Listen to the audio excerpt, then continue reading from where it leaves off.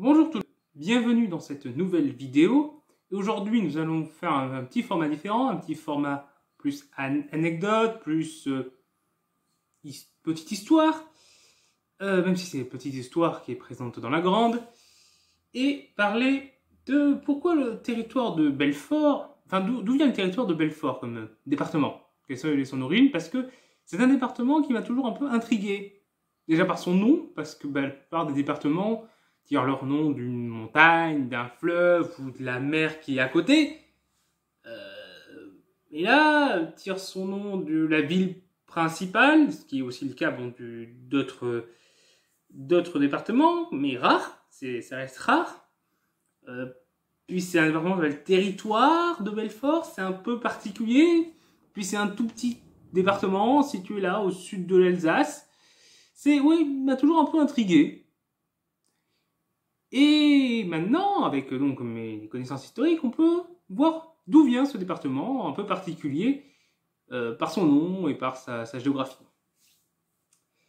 Le territoire de Belfort était en Alsace. C'était faisait partie de l'Alsace jusqu'en 1871. Mais cette année-là, l'Empire allemand obtient l'Alsace par le traité de Francfort du 10 mai 1871. Euh, si on fait le contexte, en 1870, du coup, il y a la guerre franco-prussienne qui se déclare, les Prussiens l'emportent, l'Empire allemand est déclaré, et la France doit signer un traité de paix désavantageux et céder l'Alsace-Lorraine à l'Allemagne. Mais il faut savoir que ben, le territoire de Belfort ne fut pas incorporé à l'Empire allemand pour deux raisons. Déjà, c'était un territoire à majorité francophone. Euh, même si c'était en Alsace, c'était majoritairement francophone, mais ce n'était pas le seul territoire alsacien à être majoritairement francophone, et ça ne les a pas empêchés d'être intégrés dans l'Empire allemand. L'autre raison qui a permis à la France de pouvoir négocier le maintien de, Belfort et de ses environs en France, c'est que les Allemands ont échoué à prendre Belfort. Ils ont occupé quasiment un quart du pays. Ils ont gagné la guerre, mais la ville de Belfort a tenu. Faut savoir que la ville Belfort, c'est une ville fortifiée. Ce depuis longtemps. Puisque dès le XVIIe siècle, des fortifications ont été établies par Vauban et elles ont continué d'être renforcées par la suite. Et ce qui, du fait que Belfort soit une ville stratégique, puisque c'était quand même avec la, bah, la frontière allemande, donc euh, c'était important d'avoir un endroit bien défendu, et ça a bien marché, puisque l'armée française qui était stationnée à Belfort a tenu la ville sous le commandement de Danferd Rochereau, et donc, du coup, vu que les Allemands ont échoué à prendre la ville, les Français ont pu obtenir le fait de la garder. La ville et une partie du territoire qui était autour.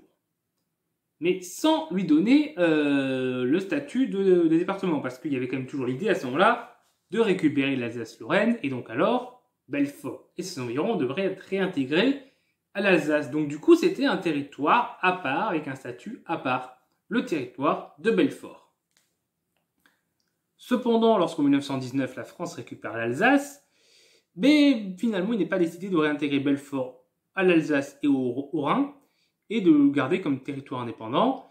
Et ce qui fait qu'en 1922, le territoire de Belfort obtiendra le statut de département, puis sera rattaché en 1960 à la région Franche-Comté. Donc voilà, c'était une toute petite vidéo, petite euh, pastille d'histoire et du coup, je pense que je vais en faire d'autres sur des territoires français. Euh, je pense que je vais parler du, par exemple de la Seine-Saint-Denis, du Pas-de-Calais, euh, par exemple, ça peut être des endroits intéressants à parler. Euh, de villes également, de, régions entières. bref, des endroits un peu particuliers, l'origine du nom historiquement, pourquoi tel territoire, telle ville ou telle région, tel département a tracé là, par exemple.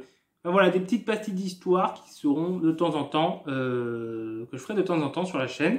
Donc, dites-moi si ça vous intéresse, euh, parce que bon, c'est aussi, si ça vous intéresse pas, c'est pas forcément la peine que j'en fasse. Mais voilà, si ça vous intéresse, les gens ferai d'autres. Et voilà. Du coup, c'est terminé pour cette vidéo. J'espère qu'elle vous a plu. Si c'est le cas, n'hésitez pas à mettre un pouce bleu, à partager la vidéo et à mettre un commentaire. Ça nous aide beaucoup et puis on est heureux de répondre à vos commentaires. Vous pouvez également partager la vidéo, ça aussi, ça aide beaucoup. Euh, non, ça, j'ai déjà... Et vous, pouvez... et vous pouvez également vous abonner pour ne pas rater les prochaines vidéos. Au revoir tout le monde